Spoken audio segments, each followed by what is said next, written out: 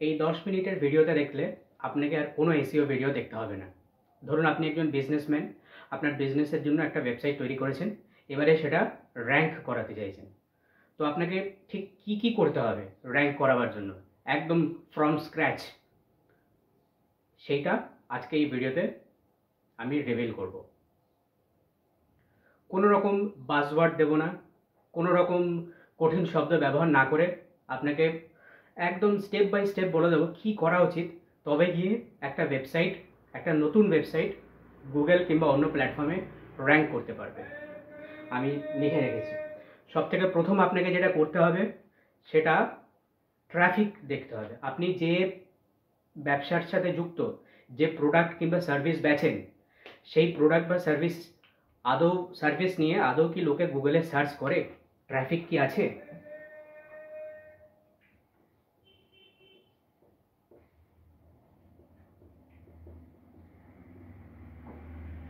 যদি ট্রাফিকই না থাকে, তাহলে সেটা র্যাঙ্ক করাবেন কি করে? র্যাঙ্ক করাতে পারবেন না।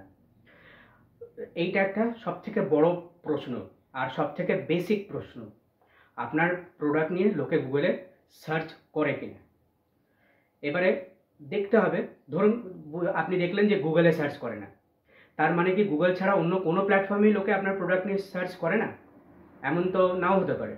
হয়তো ওই প্রোডাক্টটা গুগল গুগলের জন্য ফিট না। যেমন ধরুন, অনেক মেশিনারি লোকে সেগুলো গুগলে সার্চ করে না। লোকগুলো সেগুলো, লোকে সেগুলো ইন্ডিয়া মার্টে সার্চ করে। তো আপনাকে দ্বিতীয় যে অ্যাসপেক্টটার প্রতি খেয়াল রাখতে হবে, সেটা হলো কোন প্ল্যাটফর্মে আপনার প্রোডাক্ট নিয়ে লোকে সার্চ করে। আপনার টাইপের প্রোডাক্ট নিয়ে লোকে সার্চ করে। তো সেকেন্ড পয়েন্ট প্ল্যাটফর্ম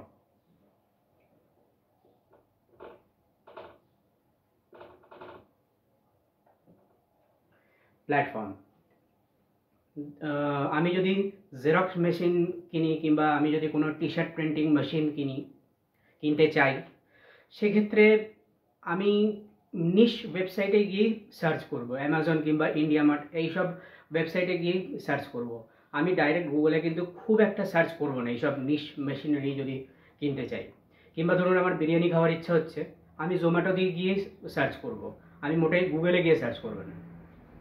হ্যাঁ হতে পারে যদি আমি রেস্টুরেন্টে গিয়ে খাচ্ছি, তো কোন রেস্টুরেন্টে বিরিয়ানি সব থেকে ভালো পাওয়া যায় সেটা আলাদা কথা। কিন্তু আমি যখন বিরিয়ানি অর্ডার করতে চাইছি, তখন কিন্তু আমি গুগল থেকে তো অর্ডার করি না। ইউজুয়ালি আমি করি জোম্যাটো থেকে। তো আপনাকে সেকেন্ড পয়েন্ট প্ল্যাটফর্ম প্ল্যাটফর্মটা মাথায় রাখতে হবে। সবসময় এমন নাও হতে পারে যে র্যাঙ্কটা গুগলেই করতে হবে।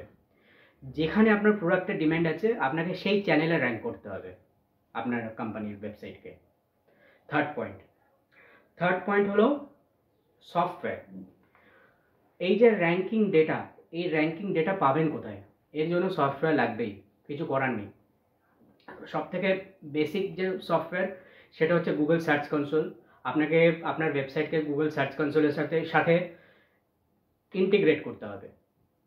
তখন গিয়ে বুঝতে পারবেন যে কোন কোন সার্চের ক্ষেত্রে আপনার ওয়েবসাইটটা ট্রিগার্ড হচ্ছে। তো থার্ড পয়েন্ট হচ্ছে সফটওয়্যার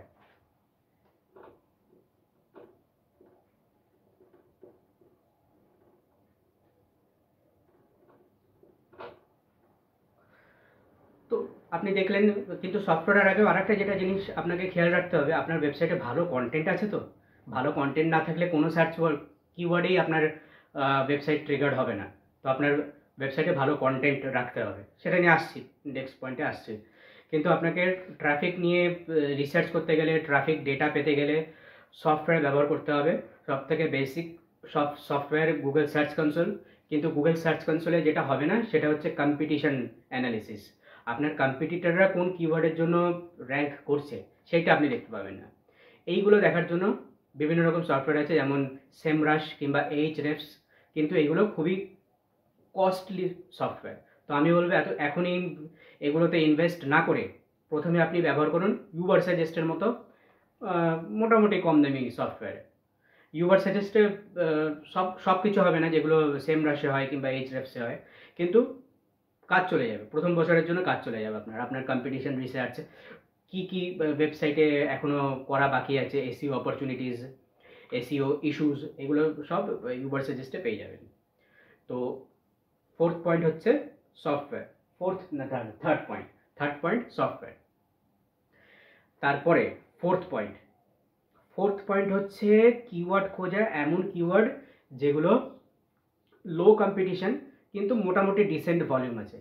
আপনি প্রথমেই শুরু করছেন, প্রথমেই যদি একদম এমন কিওয়ার্ড টার্গেট করার চেষ্টা করেন, যে কিওয়ার্ড লোকে হয়তো দেখা গেল এক লাখ লোক ওই কি, একই কিওয়ার্ডে সার্চ করে। পাবেন না, পারবেন না র্যাঙ্ক করতে যেতে কারণ বাঘা বাঘা কোম্পানি এই কিওয়ার্ডগুলো আগে থেকেই টার্গেট করে বসে আছে। তো আপনাকে লো কম্পিটিশন কিওয়ার্ড যে কিওয়ার্ডগুলো অন্য কোম্পানি টার্গেট করছে না, কেন করছে না? কারণ ওরা জানে যে এতে খুব একটা সার্চ ভলিউম নেই। কিন্তু আপনার ক্ষেত্রে আপনি যেহেতু প্রথম শুরু করছেন, আপনার যদি ওইটুকুই সার্চ ভলিউম আসে, সেটাই যথেষ্ট। তো আপনাকে low competition decent volume keyword খুঁজতে হবে। এই কিওয়ার্ডগুলো আপনি সেম সেম রাশ কিংবা ইউবার সাজেস্ট দিয়ে পেয়ে যাবেন। তো ফোর্থ পয়েন্ট হচ্ছে low competition decent volume keyword low C O N P T I T I O N তাই তো বানান? কম্পিটিশন কিওয়ার্ড এটা হচ্ছে fourth point fifth point NAP NAP মানে name address phone number consistency আপনার ওয়েবসাইটে আপনার কোম্পানির যা নাম আছে, যা অ্যাড্রেস আছে, যা ফোন নাম্বার আছে, বাকি অন্যান্য জায়গায় ফেসবুক লিঙ্কডইন টুইটার সব জায়গায় সেই একই নেম অ্যাড্রেস ফোন নাম্বার আছে কিনা চেক করুন। এটার চেক করার উদ্দেশ্য হচ্ছে, আপনার যে একটা এন্টিটি বিজনেস এন্টিটি সেই বিজনেস এন্টিটি যেন সারা ইন্টারনেটে একই থাকে। তবে গিয়ে আপনার একটা অথরিটি তৈরি হবে। একদম অথরিটির বেসিক বেসিক মূলে এটা আছে। যে নেম অ্যাড্রেস ফোন নাম্বার যেন কনসিস্টেন্ট থাকে। ইউটিউবে যখন ভিডিও পোস্ট করবেন, আর ডেসক্রিপশানে name address phone number same রাখবেন।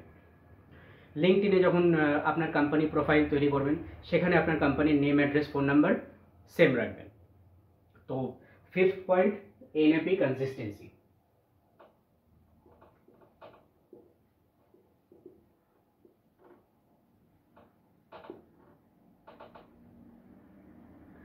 six six পয়েন্টে এবারে আপনাকে একটু ওয়েবসাইটের বাইরে বেরোতে হবে। ওয়েবসাইটের বাইরে বেরিয়ে আপনাকে গুগল বিজনেস প্রোফাইল কিংবা গুগল মার্চেন্ট সেন্টারে অ্যাকাউন্ট বানাতে হবে।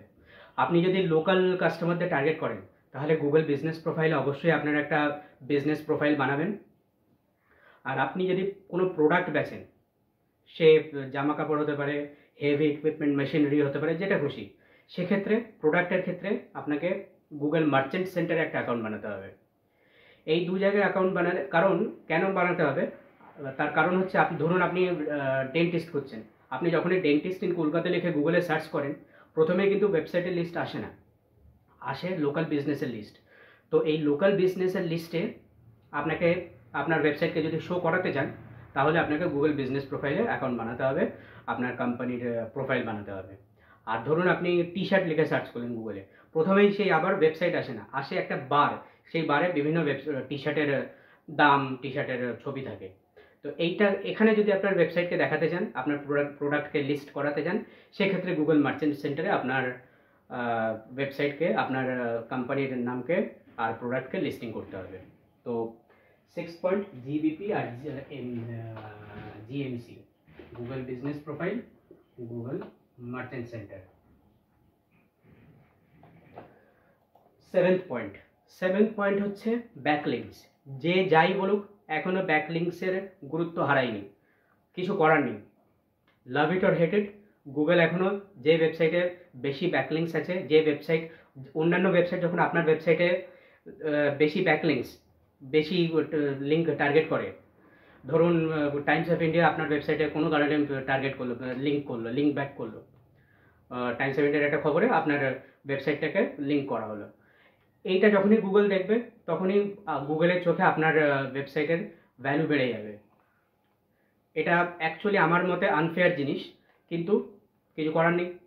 You have to play by Google's rules তো আপনাকে ব্যাকলিঙ্ক জোগাড় করতে হবে। প্রথমেই আপনি তো আর টাইমস অফ ইন্ডিয়ার ব্যাকলিঙ্কস পাবেন না। ফ্রি প্ল্যাটফর্মে আপনার ওয়েবসাইটগুলোকে লিঙ্ক করুন। যেমন ধরুন মিডিয়ামে আর্টিকেল লিখছেন, সেখানে আপনার ওয়েবসাইটকে লিঙ্ক করুন। লিঙ্কড ইন পালসে আর্টিকেল লিখছেন, সেখানে আপনার ওয়েবসাইটকে লিঙ্ক করুন। বিভিন্ন জায়গায় পিআর আর্টিকেল দিচ্ছেন, সেখানে আপনার ওয়েবসাইটকে লিঙ্ক করুন।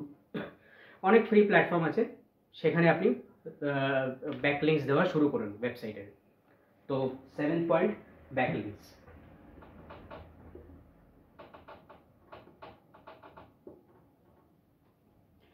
last point EEAT eat expertise authority trustworthiness এই ইইএটিটা আর একটা ই এসছে, সেটা, সেই ইটার আমি এখনই কথা বলব না।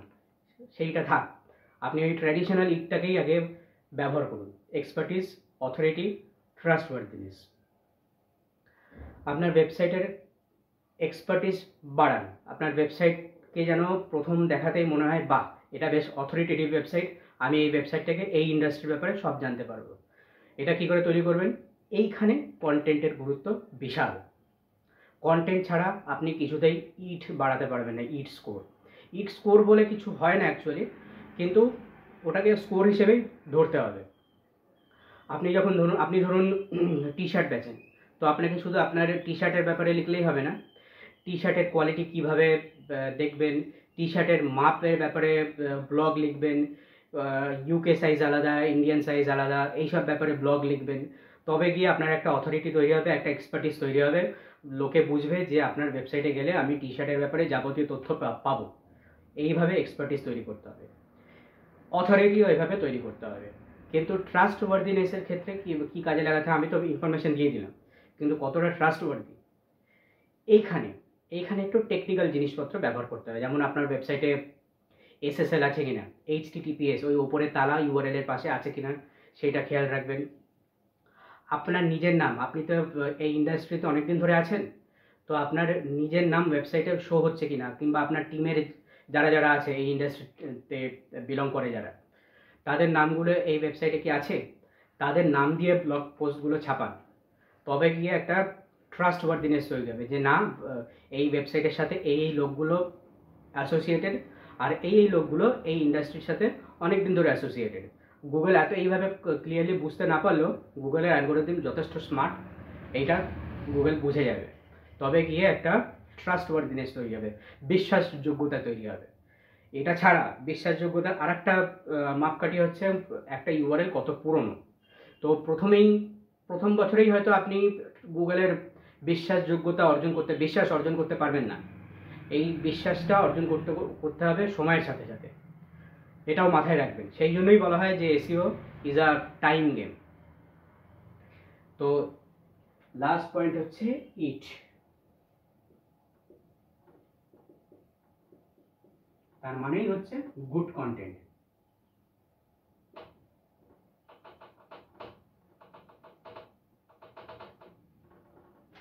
এসিও কোনো ম্যাজিক নয়। এসিও কোনো মাম্বো জাম্বো নয়। এসিও একটা সায়েন্স যতই গুগলের অ্যালগোরিদম চেঞ্জ হোক, যতই অন্য প্ল্যাটফর্মের অ্যালগোরিদম চেঞ্জ হোক, সব প্ল্যাটফর্মই চাইবে আমার প্ল্যাটফর্মে এসে লোকে যেন ভ্যালু পায়। সেই ভ্যালুটা যদি আপনি দিতে পারেন, আপনার ওয়েবসাইট আপনার চ্যানেল আপনার কোম্পানির প্রোফাইল র্যাঙ্ক করবে সেই সেই জায়গায়। আমার সাথে যোগাযোগ করুন।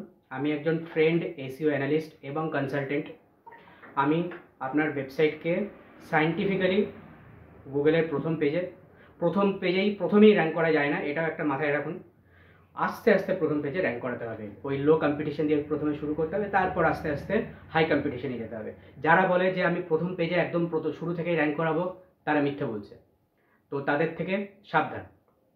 যোগাযোগ করুন আমার সাথে। আমি সাইন্টিফিক্যালি আস্তে আস্তে ইনক্রিমেন্টালি আপনার ওয়েবসাইটকে গুগলের প্রথম পেজে নিয়ে আসার চেষ্টা করব। Thank you